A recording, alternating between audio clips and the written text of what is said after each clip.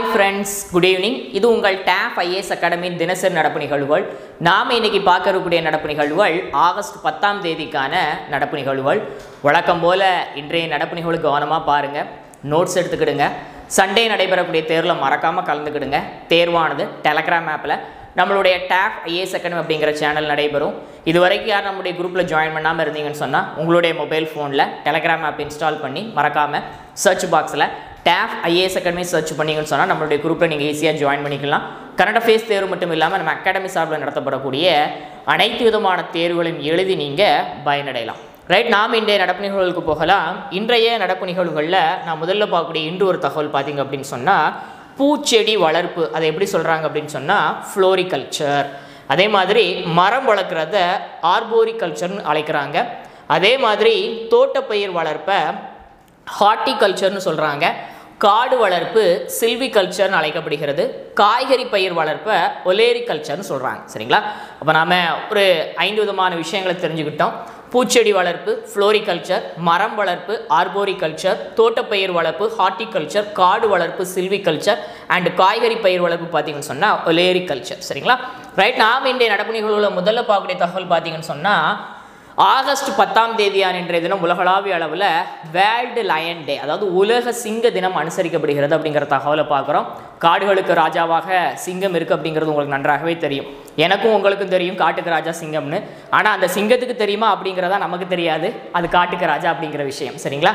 Right okay இந்த இடத்துல பார்க்கக்கூடிய தகவல் என்ன அப்படின்னு சொன்னால் காடுகளினுடைய ராஜாவாக கருதப்படக்கூடிய சிங்கங்கள் அழிந்து வரக்கூடிய நிலையில் இருக்குது அப்படிங்கிறது தான் உண்மையான விஷயம்.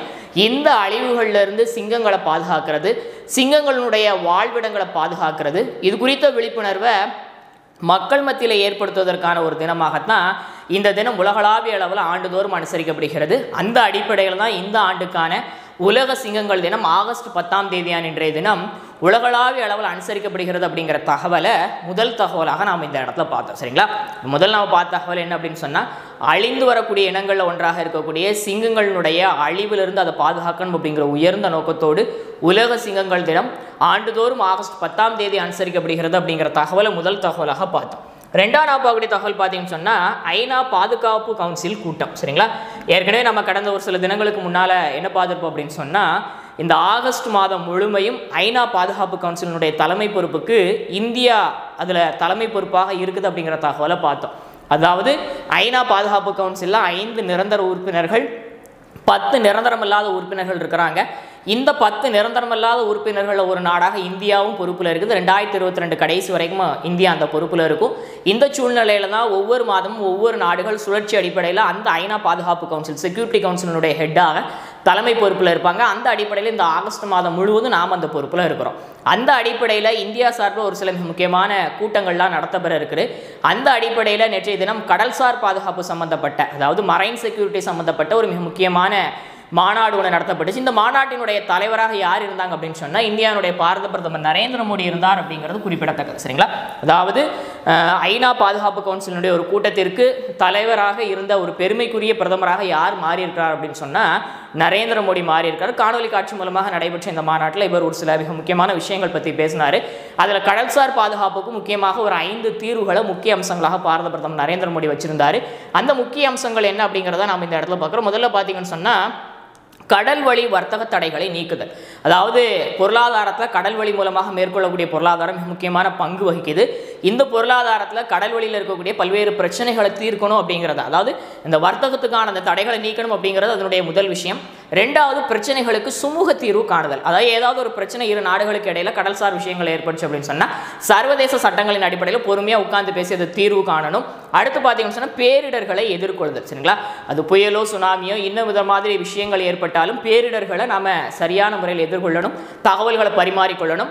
அடுத்து பார்த்தீங்கன்னு சொன்னால் வளங்களை பாதுகாத்தல். அதாவது கடல் வளங்களை பாதுகாக்கிறது. கடலில் எண்ணெய் கசிவு ஏற்படுது பருவநிலை மாற்றத்தால் கடலில் ஏற்படக்கூடிய பல்வேறு விதமான மாறுதல்கள் இது குறித்த தகவல்களை கொள்வது. இந்த மாதிரியான விஷயங்களை முன்னெடுக்கிறது. அடுத்து பொறுப்பு மிக்க கடல் வழி தொடர்பு. ஆகிய ஐந்து மிக முக்கிய அம்சங்கள் என்ன பண்ணார் அப்படின்னு சொன்னால் பாரத பிரதமர் நரேந்திர மோடி தன்னுடைய அந்த உரையில் குறிப்பிட்டார் அப்படிங்கிறது குறிப்பிடத்தக்கது. சரிங்களா? இப்போ நாம் இந்த இடத்த பார்த்த தகவல் என்ன அப்படின்னு சொன்னால் ஐநா பாதுகாப்பு கவுன்சிலுக்கு இந்த ஆகஸ்ட் மாதம் தலைமை பொறுப்பில் இருக்கக்கூடிய இந்தியா கடல்சார் விஷயங்கள் குறித்து ஒரு கருத்தரங்க நடத்தினாங்க. இந்த கருத்தரங்கில் பாரத பிரதமர் நரேந்திர மோடி தலைமையேற்று காணொலி காட்சி மூலமாக நடத்தி வச்சார் அதில் மிக ஐந்து மிக முக்கியமான விஷயங்களை கடல்சார் பாதுகாப்புக்காக அவர் வெளிப்படுத்தினார் அப்படிங்கிற தகவலை நாம் இந்த இடத்துல தெரிந்து கொண்டோம். சரிங்களா? நெக்ஸ்ட் நம்ம பார்க்கக்கூடிய தகவல் பார்த்தீங்கன்னு சொன்னால் டாக்டர் திருதி பானர்ஜி. சரிங்களா? டாக்டர் திருதி பானர்ஜி. இவங்க ஒரு அறிவியலாளர் ஒரு விஞ்ஞானி ஆராய்ச்சியாளர். சரிங்களா? இப்போ நாம் இந்த இடத்த எதற்காக பார்க்குறோம் அப்படின்னு சொன்னால் சுவாலஜிக்கல் சர்வே ஆஃப் இந்தியா இந்திய விலங்கியல் ஆய்வு மையத்தினுடைய புதிய இயக்குனராக இவங்க நியமிக்கப்பட்டிருக்கிறாங்க. அதில் ஒரு சிறப்பம்சம் என்ன அப்படின்னு சொன்னால் முதல் பெண் டைரக்டராக முதல் பெண் இயக்குனராக இவங்க நியமிக்கப்பட்டிருக்கிறாங்க. அது கிட்டத்தட்ட அந்த அமைப்பு தொடங்கப்பட்டு நூறு ஆண்டுகள் ஆகுது. இந்த நூறாண்டு காலத்தில் அந்த அமைப்புக்கு இதுவரைக்கும் ஒரு பெண்மணி ஒருத்தவங்க என்ன பண்ணது கிடையாது அப்படின்னு சொன்னால் டேரக்டராக இருந்தது கிடையாது. ஆனால் முதல் முறையாக அந்த அமைப்பினுடைய லேடி டேரக்டராக யார் நியமிக்கப்பட்டிருக்கிறாங்க அப்படின்னு சொன்னால் டாக்டர் திருதி பானர்ஜி நியமிக்கப்பட்டிருக்கிறாங்க. இந்த அமைப்பு அதாவது சுவாலஜிக்கல் சர்வே ஆஃப் இந்தியா பார்த்தீங்க அப்படின்னு சொன்னால் ஆயிரத்தி தொள்ளாயிரத்தி பதினாறில் தொடங்கப்பட்டிருக்கு. இதனுடைய தலைமையகம் பார்த்தீங்க அப்படின்னு சொன்னால் கொல்கட்டாவில் இருக்குது. இதன் கீழே கிட்டத்தட்ட பதினாறு ரீஜனல் சென்டர்ஸ் பதினாறு பிராந்திய மையங்கள் நாடு முழுவதும் நிறைந்திருக்கு அப்படிங்கிறது குறிப்பிட முடியாத விஷயம் சரிங்களா? நாம் இந்த இடத்துல பார்த்த தகவல் என்ன அப்படின்னு சொன்னால் சுவாலஜிக்கல் சர்வே ஆஃப் இந்தியா இந்திய விலங்கியல் ஆய்வு மையத்தினுடைய புதிய இயக்குனராக டாக்டர் திருதி பானர்ஜி நியமிக்கப்பட்டிருக்கிறாங்க. அந்த அமைப்பினுடைய நூறாண்டு கால வரலாற்றிலே முதல் முறையாக பெண் ஒருத்தங்க இயக்குனராக நியமிக்கப்பட்டிருப்பது இதுதான் முதல் முறை அப்படிங்கிற தகவலையும் நாம் இந்த இடத்துல தெரிஞ்சுக்கணும். சரிங்களா? நெக்ஸ்ட் நான் பார்க்கக்கூடிய நபர் யார் அப்படின்னு சொன்னால் ரேகா சர்மா பணி நீட்டிப்பு. சரிங்களா? ரேகா சர்மா தற்சமயம் எந்த அமைப்பினுடைய தலைமை பொறுப்பில் இருக்கிறாங்க அப்படின்னு சொன்னால் தேசிய மகளிர் ஆணையத்தினுடைய தலைமை பொறுப்பில் இருக்கிறாங்க. சரிங்களா? நேஷனல் கமிஷன் ஃபார் விமனுடைய ஹெட்டாக ரெண்டாயிரத்தி பதினெட்டுலேருந்து இருக்கிறவங்க தான் யார் அப்படின்னு சொன்னால் ரேகா சர்மா. தற்சமயம் அவங்களுடைய பதவியை ஒரு மேலும் ஒரு மூன்று ஆண்டுகளுக்கு ஒன்றிய அரசாங்கம் என்ன பண்ணியிருக்கிறாங்க அப்படின்னு சொன்னால் நீட்டிப்பு செஞ்சுருக்கிறாங்க அப்படிங்கிற தகவலை பார்க்குறோம். குறிப்பாக இந்த கொரோனா பேண்டமிக்கான லாக்டவுன் காலகட்டத்தில் மகளிர் வீடுகளில் பெரும்பான்மையான வீடுகளில் மகளிருக்கு எதிரான குற்றங்கள் அதிகப்படியாக நடந்துச்சு. அந்த குற்ற செயல்கள் குறித்த தகவல்களை தெரிந்து கொள்வதற்காக வாட்ஸ்அப் எண் ஒன்றே அவங்க அறிமுகப்படுத்தி இருந்தாங்க அது மட்டும் இல்லாமல் பார்த்தீங்க அப்படின்னு சொன்னால் இந்த கொரோனா லாக்டவுன் காலகட்டத்தில் வீடுகளில் தனிமையாக இருந்த வயதான நபர்களை காப்பாற்றுவதற்கான ஒரு திட்டத்தையும் அவங்க அறிமுகப்படுத்தி இருந்தாங்க அந்த அடிப்படையில் இந்தியா முழுக்க பிரபலியமான ஒரு நபராக யார் மாறியிருந்தாங்க அப்படின்னு சொன்னால் ரேகா சர்மா மாறியிருந்தாங்க அப்படிங்கிறது குறிப்பிடத்தக்கது. சரிங்களா? ரைட் அப்போ நாம் இந்த இடத்த பார்த்த தகவல் என்ன அப்படின்னு சொன்னால் தேசிய மகளிர் ஆணையத்தினுடைய தலைவராக இருக்கக்கூடிய ரேகா சர்மாவினுடைய பதவியை மேலும் ஒரு மூன்று ஆண்டுகளுக்கு ஒன்றிய அரசாங்கம் நீட்டிப்பு செஞ்சுருக்கிறாங்க அப்படிங்கிற தகவலை நாம் இந்த இடத்துல பார்த்தோம். சரிங்களா? National commission for women Rekha Sharma next நான் பார்க்கக்கூடிய தகவல் என்ன அப்படின்னு சொன்னால் ஆர்டர் ஆஃப் பிரிட்டிஷ் கொலம்பியா விருது. சரிங்களா? அதாவது இந்த ஆர்டர் ஆஃப் பிரிட்டிஷ் கொலம்பியா விருது யாரால எங்கு வழங்கப்படுகிறது அப்படின்னு சொன்னால் கனடாவில் இருக்கக்கூடிய ஒரு ஸ்டேட் ஒரு மாகாணம் தான் என்ன அப்படின்னு சொன்னால் பிரிட்டிஷ் கொலம்பியா. சரிங்களா? இந்த மாகாணம் சார்பில் வழங்கப்படக்கூடிய ஒரு மிக முக்கியமான கௌரவம் பதவி ஒரு விருது தான் என்ன அப்படின்னு சொன்னால் இந்த ஆர்டர் ஆஃப் பிரிட்டிஷ் கொலம்பியா. இந்த ஆண்டு ஒரு பத்துக்கும் மேற்பட்ட நபர்களுக்கு இந்த விருது வழங்கப்பட்டிருக்கு. இதில் ஒரு நபர் யார் அப்படின்னு சொன்னால் இந்திய வம்சாவளியை சார்ந்த கனடாவில் வசிக்கக்கூடிய தொழில் முனைவரான என்டர்பிரினரான அஜய் தில்வாரி சரிங்களா? அஜய் தில்வாரி ஒரு இந்திய வம்சாவளியை சார்ந்தவர். கனடாவில் பார்த்தீங்கன்னு சொன்னால் ஒரு பெரிய வாகன குழுமம் ஒன்று வச்சு உற்பத்தி குழுமத்தினுடைய தலைவராக இருக்கார். தில்வாரி குழுமம் அப்படிங்கிற பேரில் ஒரு வாகனங்களை உற்பத்தி செய்யக்கூடிய ஒரு மிக பிரம்மாண்டமான ஃபேக்ட்ரியினுடைய ஓனராக தலைவராக யார் இருக்கார் அப்படின்னு சொன்னால் அஜய் தில்வாரி இருக்கிறாரு. அவருக்கு தான் இந்த விருது வழங்கப்பட்டிருக்கு அப்படிங்கிற தகவலை நாம் இந்த இடத்துல பார்க்க சரிங்களா? அப்போ நாம் இந்த இடத்துல பார்த்த தகவல் என்ன அப்படின்னு சொன்னால் கனடாவில் வசிக்கக்கூடிய இந்திய வம்சாவளியை சார்ந்த தில்வாரி குழுமத்தினுடைய தலைவராக உரிமையாளராக இருக்கக்கூடிய அஜய் தில்வாரிக்கு கனடாவினுடைய ஒரு மாகாணமான பிரிட்டிஷ் கொலம்பியா சார்பில் வழங்கப்படக்கூடிய ஆர்டர் ஆஃப் பிரிட்டிஷ் கொலம்பியா அப்படிங்கக்கூடிய ஒரு உயரிய கௌரவம் விருது வழங்கப்பட்டிருக்கு அப்படிங்கிற தகவலை நாம் இந்த இடத்த பார்த்தோம். சரிங்களா? நெக்ஸ்ட் நான் பார்க்கக்கூடிய தகவல் பார்த்தீங்கன்னு சொன்னால் உலகினுடைய பணக்கார கிராமம். சரிங்களா? Wealthiest village in the world எதுவாக இருக்கும் அப்படின்னு சொன்னால் இந்தியாவில் குஜராத்தில் கட்ச் மாவட்டத்தில் இருக்கக்கூடிய மதாஃபர் வில்லேஜ் சரிங்களா? இந்த மதாஃபர் வில்லேஜ் தான் உலகினுடைய பணக்கார கிராமமாக மாறி இருக்கு அப்படிங்கிற தகவலை பார்க்குறோம். இந்த கிராமத்தில் கிட்டத்தட்ட பதினேழு பேங்க்ஸ் சரிங்களா? பதினேழு வங்கிகள் இருக்குது. கிட்டத்தட்ட ஏழாயிரத்தி ஐநூறு வீடுகள் இங்கே இருக்குது அப்படிங்கிறது குறிப்பிடும்படியான விஷயம். இங்கே இருக்கக்கூடிய வங்கிகளில் இங்கே இருக்கக்கூடிய மக்களால் சேமிப்பு தொகை எவ்வளவாக இருக்குது அப்படின்னு சொன்னால் ஒரு கோடி ரெண்டு கோடி இல்லைங்க ஐயாயிரம் கோடி ரூபாய் என்ன பண்ணியிருக்கிறாங்க அப்படின்னு சொன்னால் அவங்க சேமித்து வச்சுருக்கிறாங்க இந்த பேங்கில் தனிநபர் ஒருத்தருடைய சேமிப்பை மட்டும் நாம் அப்படி எடுத்தோம்னு சொன்னால் குறைஞ்சது பதினஞ்சு லட்சம் ரூபா ஒரு தனிநபர் அங்கே சேமிப்பு வச்சிருக்கிறார் அப்படிங்கிறது குறிப்பிடத்தக்க சரிங்களா? அந்த அடிப்படையில் உலகினுடைய பணக்கார கிராமமாக எது பெயர் பெற்றிருக்கு அப்படின்னு சொன்னால் இந்த மதாபர் மாறி இருக்குது. காரணம் என்ன அப்படின்னு சொன்னால் இந்த கிராமத்தில் கிட்டத்தட்ட ஒரு அறுபத்தஞ்சு சதவீத மக்கள் பார்த்தீங்க அப்படின்னு சொன்னால் இங்கிலாந்து அமெரிக்கா போன்ற உலகினுடைய பல்வேறு பகுதிகளில் வசிக்கிறாங்க. அங்கேருந்து சம்பாதிச்சு அவங்க எல்லாத்தையும் எங்கே தான் அனுப்பி வைக்கிறாங்க அப்படின்னு சொன்னால் இந்த கிராமத்தில் இருக்கக்கூடிய தங்களுடைய தாய் தந்தையருக்கு அனுப்பி வைக்கிறாங்க. அவங்க இங்கே இருக்கக்கூடிய பேங்கில் தான் அதெல்லாம் சேமிக்கிறாங்க. இந்த கிராமத்தில் விவசாயம் முக்கிய தொழிலாக இருக்குது அப்படிங்கிறது குறிப்பிடும்படியான விஷயம். சரிங்களா? ரைட் அப்போ நாம் இந்த இடத்துல பார்த்த தகவல் என்ன அப்படின்னு சொன்னால் உலகினுடைய பணக்கார கிராமம் அப்படிங்கிற பேர் யாருக்கு கிடச்சிருக்கு அப்படின்னு சொன்னால் குஜராத்தில் கட்சி மாவட்டத்தில் அமைந்திருக்கிற மதாஃபர் கிராமத்திற்கு வில்லேஜுக்கு அமைஞ்சு கிடச்சிருக்குது. கிட்டத்தட்ட அங்கே இருக்கக்கூடிய வங்கிகளில் மட்டுமே சேமிப்பு தொகை பார்த்தீங்கன்னு சொன்னால் ஐயாயிரம் கோடி ரூபாய் சேமிக்கப்பட்டிருக்கு அப்படிங்கிறது குறிப்பிடத்தக்கது. சரிங்களா? நெக்ஸ்ட் நான் பார்க்கக்கூடிய தகவல் பார்த்தீங்கன்னு சொன்னால் டென்னிஸ் போட்டிகள் சரிங்களா? உலகினுடைய ஒரு சில பகுதிகளில் நடைபெற்ற டென்னிஸ் போட்டி அதில் நான் முதல்ல பார்க்குறது பார்த்தீங்கன்னு சொன்னால் ஏடிபி சிட்டி ஓப்பன் டென்னிஸ் போட்டி. இது எங்கே நடந்துச்சு அப்படின்னு சொன்னால் அமெரிக்காவில் இருக்கக்கூடிய வாஷிங்டனில் நடந்துச்சு சரிங்களா? இதில் இறுதிப் போட்டியில் யாரெல்லாம் மோதுனாங்க அப்படின்னு சொன்னால் இத்தாலி நாட்டை சார்ந்த ஜானிக் சின்னர் அண்ட் அமெரிக்காவை சார்ந்த மெக்கன்சி மெக்டொனால்ட் அப்படிங்கிற ரெண்டு வீரர்கள் போடுதாங்க போராடினாங்க. ஒருத்தர் ஒரு செட்டை பிடிச்சாரு இன்னொருத்தர் மற்றும் ஒரு செட்டை பிடிச்சாரு. மூன்றாவது செட்டில் யார் வின் பண்ணுவாங்க அப்படிங்கிற ஒரு அதிதீவிரமான நிலைப்பாடு. நீண்ட நேரம் நடைபெற்ற இந்த போட்டியில் ரொம்ப அற்புதமாக விளையாடி இளம் வயது வீரர் வெறும் பத்தொம்போதே வயதான ஜானிக் என்ன பண்ணியிருக்காரு அப்படின்னு சொன்னால் கோப்பையை கைப்பற்றியிருக்கிறாரு. அதாவது ஏடிபி ஃபைவ் ஹண்ட்ரட் ரேங்கிங்கில் இருக்கக்கூடிய ஒரு தொடரில் மிகவும் இளம் வயதில் பட்டம் என்ற வீரராக ஜானிக் மாறியிருக்கிறார். சரிங்களா?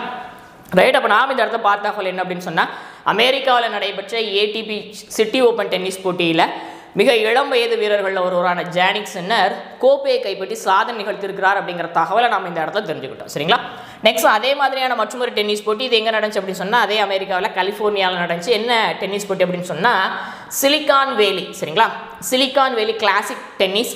இதில் இறுதிப் போட்டியில் ரெண்டு பெண்மணிகள் மோதினாங்க. இது மகளிருக்கான போட்டி. இறுதிப் போட்டியில் அமெரிக்காவை சேர்ந்த டேனியலி கோலின்ஸ் அண்ட் ரஷ்யாவை சார்ந்த டேரியா கசட்கினா மோதினாங்க.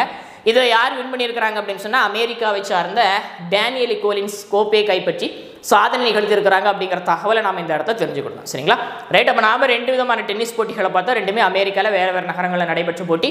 ஒன்று ஆண்களுக்கான போட்டி ஒன்று மகளிருக்கான போட்டி. இந்த ரெண்டுலையும் யார் வின் பண்ணியிருக்கிறாங்க அப்படிங்கிற தகவலை பார்த்தா ஆண்களுக்கான போட்டியில் ஜானிக்சனும் மகளிருக்கான போட்டியில் டேனியலி கோலின்ஸ் என்ன பண்ணியிருக்கிறாங்க அப்படின்னு சொன்னால் கோப்பையை கைப்பற்றியிருக்கிறாங்க. சரிங்களா? நெக்ஸ்ட்லாம் பார்க்கக்கூடிய மற்றொரு நபர் யார் அப்படின்னு சொன்னால் கடற்படை தளபதி. சரிங்களா? கமோடோர். கேபி கோபால் ராவ் மறைவு சரிங்களா? அதாவது இந்திய கடற்படையில் தளபதி அந்தஸ்தில் பணியாற்றி ஒரு முன்னாள் இராணுவ வீரர் தான் யார் அப்படின்னு சொன்னால் கேபி கோபால் ராவ் வயது முதிர்வின் காரணமாக காலமானார் அப்படிங்கிற தகவலை பார்க்குற இவருடைய சிறப்பு என்ன அப்படின்னு சொன்னால் ஆயிரத்தி தொள்ளாயிரத்தி எழுபத்தி ஒன்றில் இந்தியாவுக்கும் பாகிஸ்தானுக்கும் இடையே நடைபெற்ற போரில் டிசம்பர் நாலாம் தேதி இவர் என்ன பண்ணுறாரு அப்படின்னு சொன்னால் இவர் தன்னுடைய படையினரோடு சென்று கராச்சி துறைமுகத்தை எரிச்சு ஒரு மிக பிரம்மாண்டமான தாக்குதல் நடத்துகிறாரு இது இந்திய பாகிஸ்தான் போரில் ஒரு குறிப்பிடும்படியான நிகழ்வு. இந்த நிகழ்வு மையமாக வச்சு தான் பார்த்தீங்க அப்படின்னு சொன்னால் டிசம்பர் நாலாம் தேதி ஆண்டுதோறும் கடற்படை தினமாக அனுசரிக்கப்படுகிறது அப்படிங்கிறது குறிப்பிடத்தக்கது. அதோடு தொடர்புடைய ஒரு மிக முக்கியமான நபர் தான் யார் அப்படின்னு சொன்னால் கேபி கோபால் ராவ் இவருடைய இந்த சாதனை அங்கீகரிக்கக்கூடிய வகையில் இராணுவத்தில் வழங்கப்படக்கூடிய ரெண்டாவது உயரிய விருதான மகாவீர் சக்ரா விருது இவருக்கு வழங்கப்பட்டது குறிப்பிடத்தக்கது. தற்சமயம் அவர் உடல்நலக்குறைவு காரணமாக காலமானார் அப்படிங்கிற தகவலை நாம் இந்த இடத்த பார்க்கணும் எங்களோட நேட்டிவ் பார்த்தீங்கன்னு சொன்னால் மங்களூர். சரிங்களா? ரைட் அப்போ நாம் இந்த இடத்த பார்த்த தகவல் என்ன அப்படின்னு சொன்னால் ஆயிரத்தி தொள்ளாயிரத்தி எழுபத்தி ஒன்று இந்தியா பாகிஸ்தான் போரில் கராச்சி துறைமுகத்தை எரித்து ஒரு அற்புதமான தாக்குதல் நகர்த்த இந்திய கடற்படை தளபதிகளில் ஒருவரான கேபி கோபால் ராவ் மகாவீர் சக்ரா விருது பெற்றவர். உ- வயது மூப்பின் காரணமாக காலமானார் அப்படிங்கிற தகவலை நாம் இந்த இடத்துல தெரிஞ்சுக்கிட்டோம். சரிங்களா? நெக்ஸ்ட் நான் பார்க்கக்கூடிய தகவல் பார்த்தீங்கன்னு சொன்னால் ரீக்கா பார்க்குறது ஆரம்பத்தில் என்ன பார்த்தோம் அப்படின்னு சொன்னால் ஆகஸ்ட் பத்தாம் தேதியான தினம் உலகளாவிய அளவில் சிங்கங்களினுடைய பாதுகாப்பிற்கான உலக சிங்கங்கள் தினம் அனுசரிக்கப்படுகிறது அப்படிங்கிற தகவலை பார்த்தா அழிந்து வரக்கூடிய இனங்களில் ஒன்றாக இருக்கக்கூடிய சிங்கங்களை பாதுகாத்து அதனுடைய வாழ்விடங்களை பாதுகாப்பது குறித்து மக்கள் மத்தியில் விழிப்புணர்வு ஏற்படும் தினமாக இது அனுசரிக்கப்படுகிறது. ரெண்டாம் நம்ம என்ன பார்த்தோம் அப்படின்னு சொன்னால் ஐநா பாதுகாப்பு கவுன்சில் கூட்டம் அதாவது இந்த ஆகஸ்ட் மாதம் முழுமையும் ஐநா பாதுகாப்பு கவுன்சிலுக்கு இந்தியா தான் தலைமை பொறுப்பில் இருக்குது. மிக முக்கியமான ஒரு சில மாநாடுகளை நடத்த இருக்கிறாங்க. அதில் நேற்று தினம் கடல்சார் பாதுகாப்பு குறித்த மாநாடு நடத்தப்பட்டு இதனுடைய தலைமை பொறுப்பு யார் ஏற்றிருந்தாங்கன்னு சொன்னால் இந்தியா ஏற்றிருந்ததுனால இந்தியனுடைய பாரத நரேந்திர மோடி இந்த காணொலி காட்சி வாயிலாக நடைபெற்ற இந்த மாநாட்டிற்கு தலைமை பொறுப்பேற்றார். இந்திய வரலாற்றிலே முதல் முறையாக ஐநா பாதுகாப்பு கவுன்சிலுடைய கூட்டத்திற்கு தலைமை ஏற்புடைய முதலாவது பிரதமர் அப்படிங்கிற பெருமை நரேந்திர மோடி கிடைச்சிருக்குது. அவர் கடல்சார் பாதுகாப்பு குறித்து ஒரு ஐந்து மிக முக்கிய அம்சங்களை இந்த மாநாட்டில் வலியுறுத்தினார். அந்த ஐந்து முக்கிய அம்சங்கள் பார்த்தீங்கன்னு சொன்னால் கடல் வழி வர்த்தக தடைகளை நீக்கணும் பிரச்சனைகளுக்கு சுமூக தீர்வு காணணும். அதே மாதிரி பேரிடர்களை எதிர்கொள்ளக்கூடிய திறமையை வளர்த்துக்கிடணும் வளங்களை பாதுகாக்கணும். பொறுப்புமிக்க கடல்வழி தொடர்பை ஏற்படுத்தணும் போன்ற தகவல்களை பதிவு செஞ்சார். சரிங்களா? நெக்ஸ்ட்லாம் பார்த்தா பார்த்த தகவல் என்ன அப்படின்னு சொன்னால் சுவாலஜிக்கல் சர்வே ஆஃப் இந்தியா இந்திய விலங்கல் ஆய்வு மையத்தினுடைய புதிய இயக்குனராக டாக்டர் திருதி பானர்ஜி நியமிக்கப்பட்டிருக்கிறாங்க. அந்த பொறுப்பிற்கு நியமிக்கப்பட்டிருக்கக்கூடிய முதலாவது பெண்மணி அப்படிங்கிற பெருமை அவங்களுக்கு கிடைச்சிருக்கு அப்படிங்கிற தகவல் பார்த்தா ஆயிரத்தி தொள்ளாயிரத்தி பதினாறில் இந்த அமைப்பு உருவாக்கப்பட்டது. ஒரு தலைமையிடம் கொல்கத்தால அமைஞ்சது. நெக்ஸ்ட் நான் பார்த்த தகவல் என்ன அப்படின்னு சொன்னால் தேசிய மகளிர் ஆணையம் நேஷனல் கமிஷன் ஃபார் விமனுடைய தற்போதைய தலைவராக இருக்கக்கூடிய ரேகா சர்மாவினுடைய பதவி காலத்தை மேலும் மூன்று ஆண்டுகளுக்கு ஒன்றிய அரசாங்கம் என்ன பண்ணியிருக்காங்க அப்படின்னு சொல்லி நீட்டிச்சு அறிவிப்பு வெளியிட்டிருக்காங்க ரெண்டாயிரத்தி பதினெட்டில் இவங்க இந்த அமைப்பினுடைய தலைமை பொறுப்புக்கு வந்தாங்க அப்படிங்கிறது குறிப்பிடத்தக்க. நெக்ஸ்ட் நான் பார்த்த தகவல் என்ன அப்படின்னா கனடாவில் பிரிட்டிஷ் கொலம்பியா அப்படிங்கிற மாகாணத்தில் வழங்கப்படக்கூடிய ஆர்டர் ஆஃப் பிரிட்டிஷ் கொலம்பியா அப்படிங்கிற விருது இந்த ஆண்டு ஒரு பதினாறு நபர்களுக்கு வழங்கப்பட்டிருக்கு. அதில் ஒரு நபராக இந்திய வம்சாவளியை சேர்ந்த கனடாவில் மிக பிரம்மாண்டமான வாகன உற்பத்தி குழுமத்தினுடைய குழுமத்தினுடைய தலைவராக இருக்கக்கூடிய தில்வாரி குழுமம் அதனுடைய தலைவராக இருக்கக்கூடிய அஜய் தில்வாரிக்கு அந்த விருது வழங்கப்பட்டிருக்கு அப்படிங்கிற தகவலை நம்ம இந்த இடத்துல பார்த்தோம். சரிங்களா? நெக்ஸ்ட் நான் பார்த்த தகவல் என்ன அப்படின்னு சொன்னால் உலகினுடைய பணக்கார கிராமமாக எது மாறி இருக்கு அப்படின்னு சொன்னால் குஜராத்தில் அமைந்திருக்கக்கூடிய கட்ச் மாவட்டத்தினுடைய மதாஃபர் கிராமம் மாறி இருக்குது. இந்த கிராமத்தில் கிட்டத்தட்ட பதினேழு வங்கிகளில் அங்கே இருக்கக்கூடிய மக்களால் சேமிப்பு தொகை மட்டுமே ரூபாய் ஐயாயிரம் கோடி ஆகும். சரிங்களா?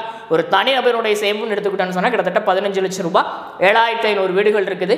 இந்த இந்த கிராமத்தில் பெரும்பான்மையான மக்கள் வெளிநாடுகள்லேருந்து சம்பாதிச்சு தன்னுடைய சொந்த பந்தங்களுக்கு தாய் தந்தையருக்கு அனுப்புகிறாங்க அந்த பணம் எல்லாமே இங்கே இருக்கக்கூடிய வங்கிகள் தான் சேமித்து வைக்கப்படுது அப்படிங்கிறது குறிப்பிடத்தக்க. நெக்ஸ்ட் நான் பார்த்த என்ன அப்படின்னு சொன்னால் உலகினுடைய பல்வேறு போட்டிகள் நடைபெற்ற டென்னிஸ் போட்டிகளில் வெற்றி பெற்ற வீரர்களை பார்த்தா அதில் அமெரிக்காவில் வாஷிங்டனில் நடைபெற்ற ஏடிபி சிட்டி ஓப்பன் டென்னிஸ் போட்டியில் இறுதிப் போட்டியில் இத்தாலி நாட்டு வீரரான ஜானிக் சின்னர் அமெரிக்காவினுடைய மெக்கன்சி மெக்டொனால்டுவை வீழ்த்தி கோப்பையை கைப்பற்றியிருக்கிறாரு ஏடிபி ஐநூறு அந்தஸ்து தொடரில் பட்டம் வென்றக்கூடிய மிக இளம் வயது வீரராக பத்தொன்பது வயசு தான் ஆகுது ஜானிக் சென்டர் மாறியிருக்கார். நெக்ஸ்ட் நான் பார்த்த என்ன அப்படின்னு சொன்னால் கலிஃபோர்னியாவில் நடைபெற்ற சிலிகான் வேலி கிளாசிக் டென்னிஸ் போட்டியில் இறுதிப் போட்டியில் அமெரிக்காவினுடைய டேனியலி கோலின்ஸும் ரஷ்யாவினுடைய டேரியா கசகிட்கனாவும் மோதுனாங்க. இதில் கோலின்ஸ் என்ன பண்ணியிருக்காரு சொன்னால் கோப்பையை கைப்பற்றிருக்கிறாங்க அப்படிங்கிற தகவலை பார்த்தோம். அடுத்ததாக கடற்படை தளபதி கமோடோ டோர் என அழைக்கப்படக்கூடிய கேபி கோபால் ராவ் உடல்நலக்குறைவு காரணமாக காலமானார் அப்படிங்கிற தகவலை பார்த்தா ஆயிரத்தி தொள்ளாயிரத்தி எழுபத்தி ஒன்றில் இந்தியா பாகிஸ்தான் போரில் கராச்சி துறைமுகத்தை டிசம்பர் நாலாம் தேதி இவருடைய படைகள் சென்று அழைத்து ஒரு பிரம்மாண்டமான தாக்குதல் நடத்தினாங்க. அதனுடைய ஞாபகார்த்தமாக தான் டிசம்பர் நாலாம் தேதி கடற்படை தினம் அனுசரிக்கப்படுகிறது. அது மட்டும் இல்லாமல் இவருடைய சாதனை அங்கீகரிக்கக்கூடிய வகையில் இந்திய ராணுவத்தில் வழங்கக்கூடிய இரண்டாவது உயரிய விருதான மகாவீர் சக்ரா விருது இவருக்கு வழங்கப்பட்டிருக்கு அப்படிங்கிறது குறிப்பிடத்தக்கது. இன்றைய நடப்பு நிகழ்வுகள் உங்களுக்கு பயனளிக்கக்கூடிய வகையில் இருந்திருக்கு நான் நினைக்கிறேன். இந்த வீடியோ உங்களுக்கு பிடிச்சிருன்னு சொன்னால் லைக் பண்ணுங்கள் ஷேர் பண்ணுங்கள் சப்ஸ்கிரைப் பண்ணுங்கள் மறக்காமல் சண்டே நடைபெறக்கூடிய தேர்வில் கலந்துக்கிடுங்க. தேங்க்யூ